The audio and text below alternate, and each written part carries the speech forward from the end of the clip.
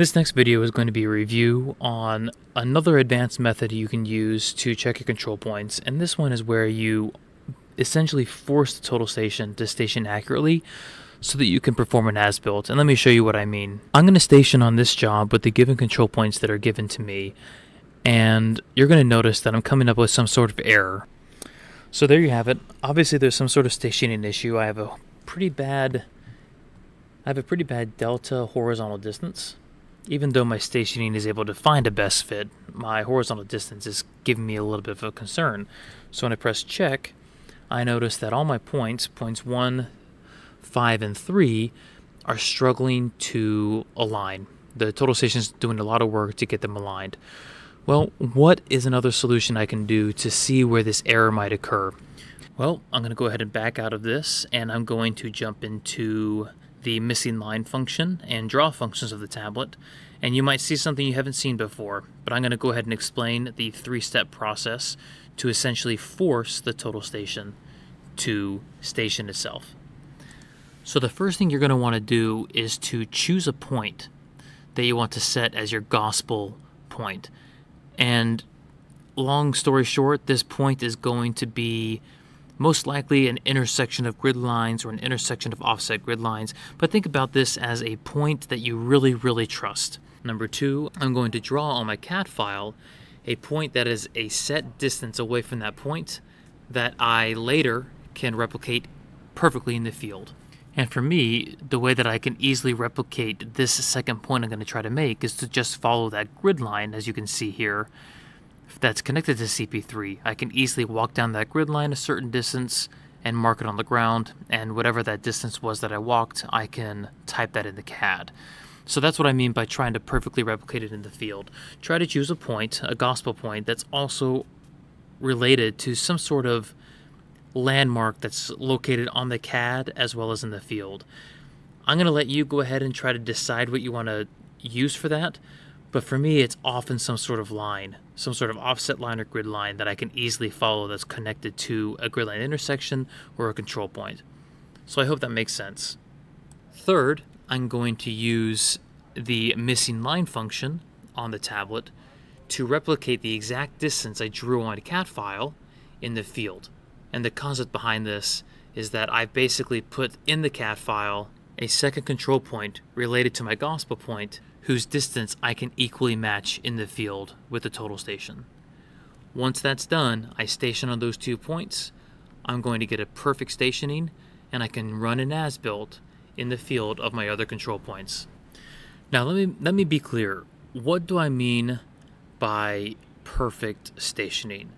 Because obviously when you do this kind of a setup, you're gaming the system in a way. You are essentially tricking the total station to just station accurately. All I mean by perfect stationing is when you use these two control points and you station off of them, obviously the station is going to come up with a 000 stationing being perfectly accurate because the line you drew on the CAD was a certain amount of distance and then in the field you use missing line to pull that exact same distance in the field. So when I say perfect stationing, yes, you're going to have a zeroed out stationing, but does that mean that you should lay out based off that stationing? No. The whole reason you're doing this is to give yourself some sort of benchmark to do as builts. And in my experience, this has been a great way to verify control points, at least from the perspective of doing some troubleshooting and to get data that I can share with the GC before I actually commit to doing any sort of layout. So let me go ahead and show you the process as I do it on my tablet. So for what I'm going to do, I'm going to go ahead and make a control point that is north of CP3 by 8 feet. I'm in a demo area, so that should be a sufficient amount of area. So I'll bring that north 8 feet, and I'll measure that in the field. So here you see I drew in my own control point down this line that's on the CAD, and this line also is theoretically also in the field, and I'm putting that right up here, and I'm going to say check. So now what I've done is I've added a control point, which I'll come call my dummy control point that's on this line. So it's in the CAD file. And this point is in the field, and this line's in the field, but I don't have that point in the field yet. So now what I'm going to do is I'm going to use missing line, which is in this applications button right here, And I'm going to take my total station, I'm going to measure this point right here as my first point, and I'm going to walk down this line exactly 8 feet to get to the CP2 point that I want to that I have here in the CAD file. So let me do that right now. Right now my total station is looking at the CP3, so I'm going to measure that as my first point.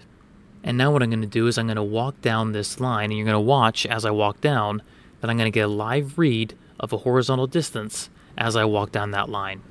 So I'm going to skip the video a little faster, but you can tell that it's following me down the line. And what I'm going to do is when I get to that 8 foot mark, I'm going to mark it very clearly on the ground so that the field has an 8 foot line and my CAD has an 8 foot line that I can now benchmark off of. So now I have CP3 in the field, I have this line in the field, I have CP2 in the field, and they're all accurately to on this CAD as well. So what I'm going to do now is now that I have this marked in the field and on the CAD, I now have two control points. I know that they're going to be accurate because I literally just measured them. And what I'm going to do is I'm going to station on these two control points and I'm going to do an as-built of my other control points, especially control point 1 and control point 5 to see where my errors might be. So let me start with that. I'm going to go into stationing, manual stationing, and I'm going to simply station on those two points now. So CP2 my dummy point, which I'm over right now. I'm going to measure that. And then, of course, CP3. As you can see, I measured both of those points in, and I'm getting a perfect stationing. And I knew that it would be a perfect stationing because I literally measured those out to be exact. And I'll go ahead and accept my station. Now the next step is to do an as-built by using the measure and record function of my other two control points, CP1 and CP5. So right now I'm over CP1, and I can already tell by the crosshair that this is most likely going to be accurate, but I'll measure it. And now I'm going to zoom very far in, and I'm going to do a COGO distance check, and I'm finding that the deviation between these is about a quarter of an inch, which is a little bit worse for wear. But now let me go ahead and use the measure and record function on CP5 as well. Again, I can tell by the crosshair that there's going to be a pretty significant deviation, but I'm going to measure it and figure out what that is. I'll zoom in, look at the deviation, and that's coming up as a 2 and 5 16ths inch error. So I obviously know that this is a control point that's most likely not accurate. The 1 quarter inch over at CP1 also has me a little bit concerned. I probably want to talk to somebody about what's going on there. And the reason I was able to get this as built is because I was able to start from, again, CP3 is where I began. I drew in that point over here and I used missing line, which looks like this, to pull that exact distance. Missing line is just a virtual tape measure. I force the tool to station on these two points. And so essentially, my gospel point is CP3, and these as-builts are showing me that according to this line and how the CAD is organized, these points are coming up a little bit off. There's a lot of ways that this could be helpful to you, but I wanted to make sure you could see the button pushes and the principles behind this so that you can apply this on your own job site. Imagine how valuable this information will be to your general contractor as they are trying to sync the layout for all trades on their job site.